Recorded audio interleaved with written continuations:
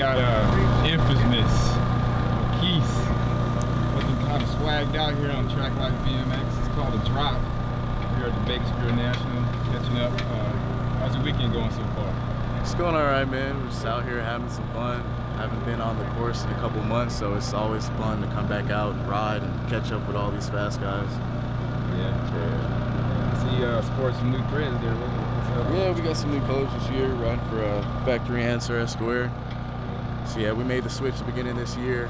Um, everything's been good, man. Good people. Big shout out to John Sawyer, Blake Sawyer, um, Factory Answer, Glenn Napper, Al Roybo, all of them.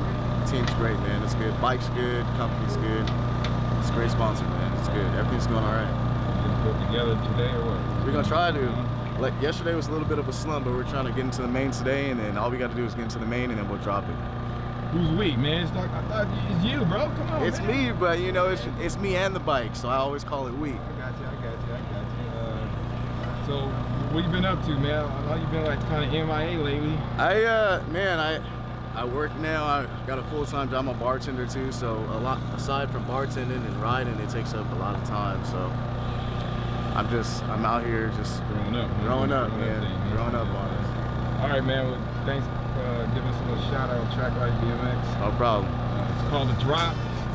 Keep you good luck. Thank you. I appreciate it. All right. Good luck, bro. Thank you.